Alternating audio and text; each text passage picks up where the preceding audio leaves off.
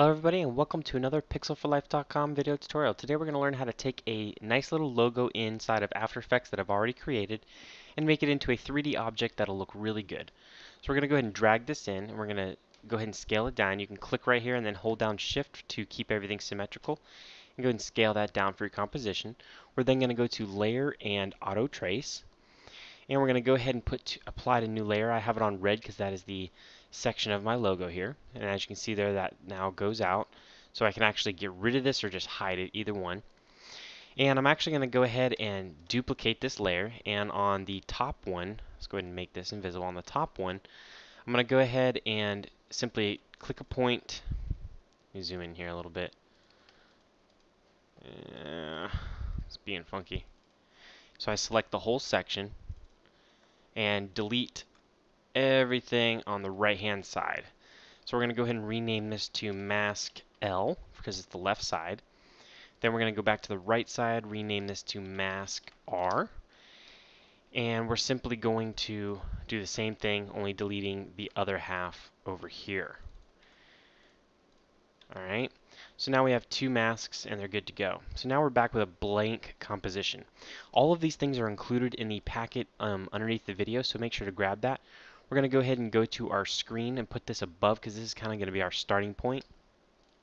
Let's go ahead and just um, scale this up here to about mm, 170 or so. We'll go ahead and click on the scale for the timeline and then we'll go ahead and go over here and just type in 100 so our image zooms back down. As you can see there it's a nice smooth slow transition going down.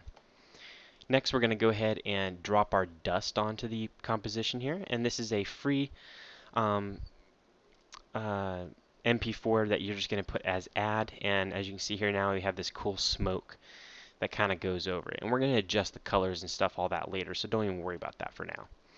Alright so now we're going to go ahead and click on our text tool. We're going to go ahead and type in our text. I've already selected a font that I like here and I'm going to go ahead and just kind of center this up here onto the bottom of the composition and I'll just scale it down a little bit kind of like that zoom in here and that looks pretty good actually. So I can then take this text and just hide it for now because I'm not going to need it.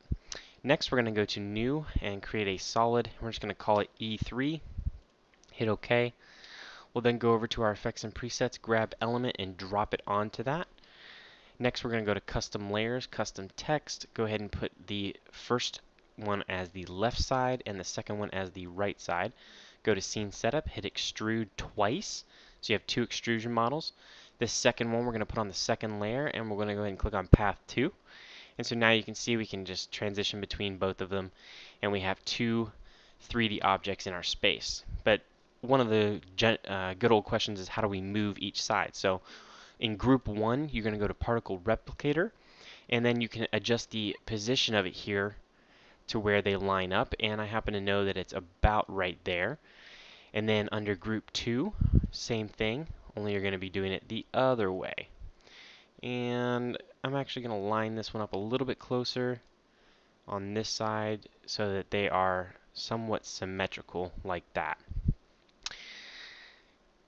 Now we're going to go ahead and go to um, about the three and a half second mark, so 3.50 down here in the left hand corner. And we're going to go ahead and keyframe our positions.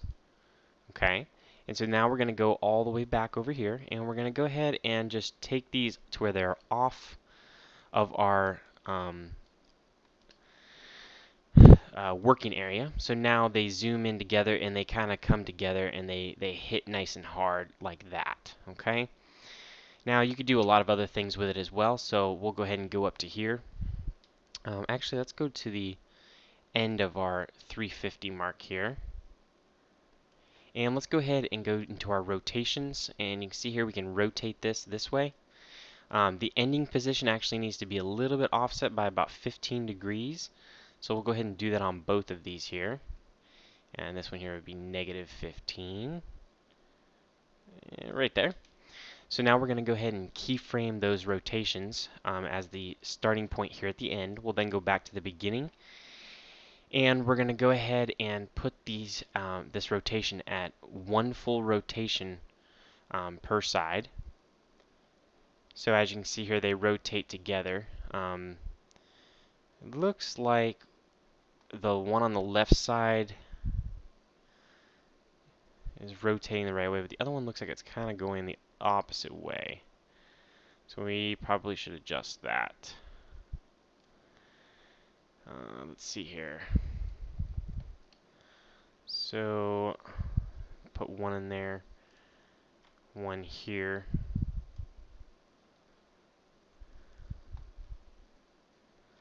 And we definitely didn't need to do that. So we'll just leave it alone for now.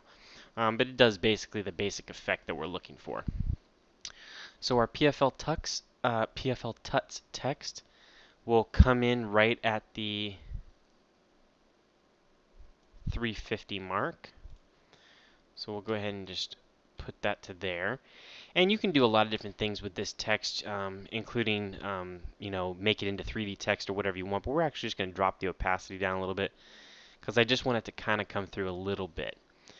And so far our scene is looking good. So this is going to be part one and I'm going to go ahead and start up on part two right after this. So I hope you guys enjoyed it. Be sure to check it out and download the stuff in the description below and I will see you in part two.